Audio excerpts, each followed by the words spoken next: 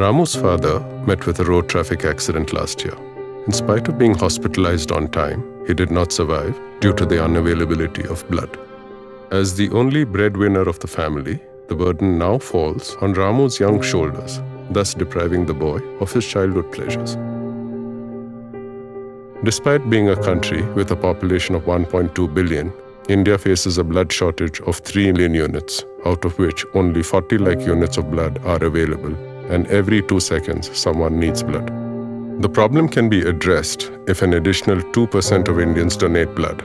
Come forward to donate blood, save lives and families like Ramu's.